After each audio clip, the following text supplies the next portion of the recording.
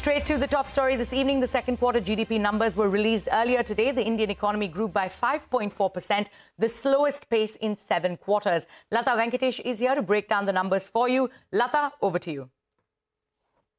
This is a seriously disappointing number at 5.4%. Of the poll I did, even the lowest number was only 6.3. And of course, the average I got was 6.5%. The Reserve Bank was standing at 7% as recently as October 1st week and later brought it down to 6.8% expectation.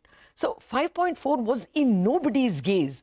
The culprit uh, appears to be manufacturing and mining. We did get that whiff when the second quarter corporate results came in.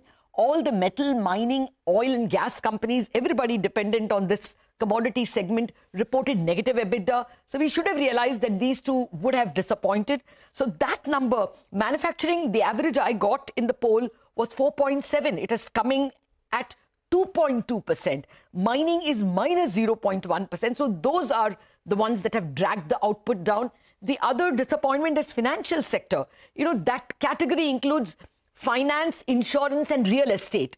Real estate had not done so badly, but uh, nevertheless, we have just got 6.7% growth. The expectation was that finance would be somewhere at 8%. That also has been a disappointment. But if you looked at GDP not from the output side, but from the expenditure side, did you spend it on consumption, on investment, uh, on um, uh, imports and exports? Then the, the disappointment is on both investment and consumption. Consumption has grown at only 5.9 or maybe 6%. The expectation was that that would be a, a, a little better. But investment is the bigger disappointment. It's grown by only 5.4% for the last many quarters. Uh, because of excellent government capex, the growth has been, you know, between 7 and 11 percent. We even did, uh, you know, 11.6 percent year ago. So that is another big disappointment that capex has not picked up neither from the states nor from the center, and private capex has not quite picked up the baton. So this is an all-round disappointment. What it could mean is that uh, the government, will, the economy will not be able to churn out uh, anywhere near the 7.4 that the Reserve Bank was expecting in the second half. Even 7% looks very difficult. And if it does less than 7%, then the full year will be even less than 6.5%. To get the full year at 6.5, you need at least 7% from the second half, which looks a tad too difficult. The question now, uh, or rather the onus now falls on the Reserve Bank. Will they be able to deliver something in the monetary policy of December 6th? Uh, uh, a rate cut will be tough because the last inflation number is over above their inflation mandate of 2 to 6%. It came in at 6.2. But perhaps a CRR cut is possible so that more liquidity is released into the system. We will have to wait and see. But at the moment, I have to sign off by saying that this is a seriously disappointing number. So disappointing number there. Thank you so much for that, Lata. But let's go across to the Chief Economic Advisor, Anantha Nageswaran, who is addressing the media on these Q2 GDP data. Uh, let's cut across live. There is uh, a steady trend improvement that is going on, as we also mentioned in the case of construction. Services sector growth has been steady. And therefore, in general, GVA at basic prices, the five-year CAGR has been rising over the last three financial years in Q2. On the demand side, if you look at it, total consumption growth is uh, the five-year CAGR, uh, annual compounded annual growth rate was 3.6 last year, holding steady at 3.5 this year. Private final consumption expenditure remaining steady at 4.4. The gross fixed capital formation, obviously, even though the second quarter and we will talk about it later, was uh, disappointing, especially the first half of the current financial year, having witnessed a slowdown in the uh, capital expenditure of the public sector in the country as a whole. But by and large, I think the uh, recovery in the gross fixed capital formation uh, after the second decade slowdown is continuing. Uh, exports of goods and services is uh, again is, is on the improving track. Uh, import of goods and services is actually slightly lower or steady. And therefore, the five-year GDP growth rate uh, is in real GDP uh, or GDP at constant prices is improving at 4.4% compared to 4.2% uh, in the second quarter of last year. In order to give you some context, because bulk of the slowdown in the second quarter uh, from the supply side, because it is attributable to the manufacturing slowdown and also the slowdown in mining uh, uh, and quarrying sectors because if you look at the production of the three items in by the way i wanted to point out to you that for the first time on this call we have the uh, uh, assistant additional director general sanjay from the ministry of statistics. He's virtually present on this call. And alongside sitting alongside me physically in my room we have the deputy director general uh, mr dilip kumar sinha uh, of the National Income Accounting Division, NAD of MOSPI, is also physically present here. Uh, and, and I think going forward, we will have officials from the Ministry of Statistics with us in these press conferences so that uh, questions related to statistical estimations, they will be uh, able to shed more light and offer better perspectives than I will be able to do since I will be coming from the macroeconomic angle. So I just wanted to inform you about the presence of these two officials on the call and, I, and my, my, my sincere thanks to them for being here.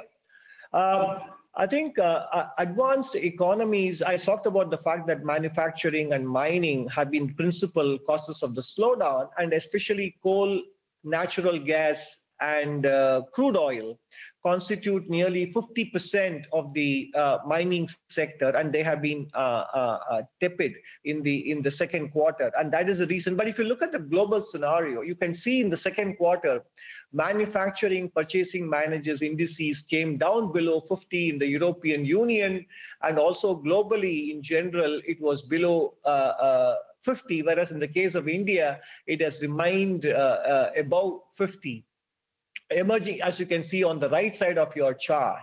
So th- there is there is an impact coming from the global supply chain uncertainties, partly because of the unexpected uh, growth under recovery in the United in, in, in China, which also led to uh, concerns about uh, higher imports from that source from that country, which would have also had an impact uh, in uh, on domestic prices and therefore domestic manufacturing. And some of you may recall uh, the the press conference and statements made by Mr. Narendran of Tata Steel in this regard not so long ago.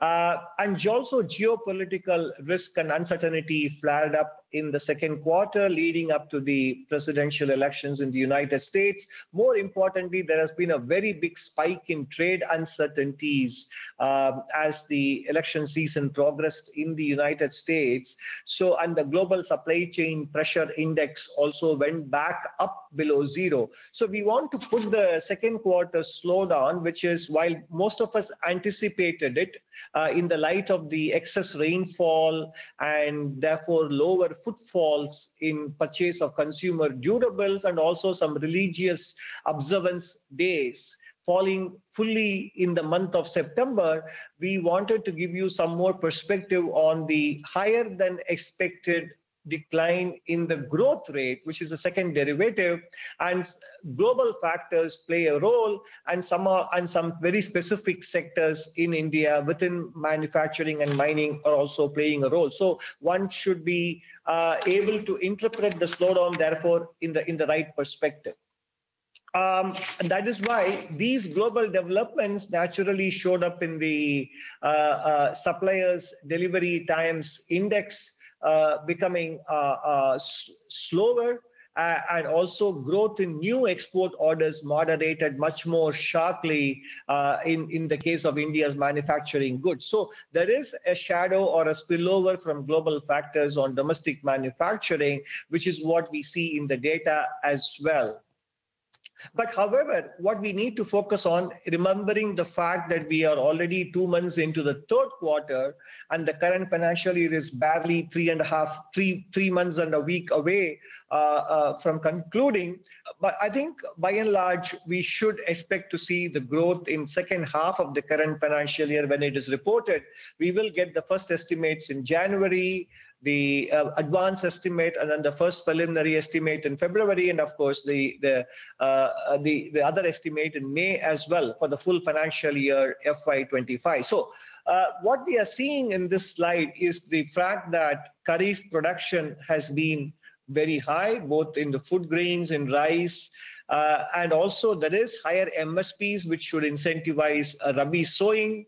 Uh, storage reservoir, store, water storage in reservoirs is very adequate for the Rabi crop and fertilizer availability is at comfortable level. So the kind of pickup in agricultural sectoral growth that we have seen in the last two quarters, we expect it to continue in the uh, second half of the year as well.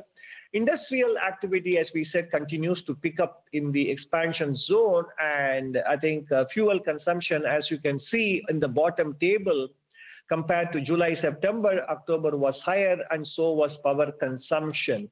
And the uptick in uh, uh, uh e-way bill generation uh, from 10.9 to 11.7 from August to October uh, is also encouraging.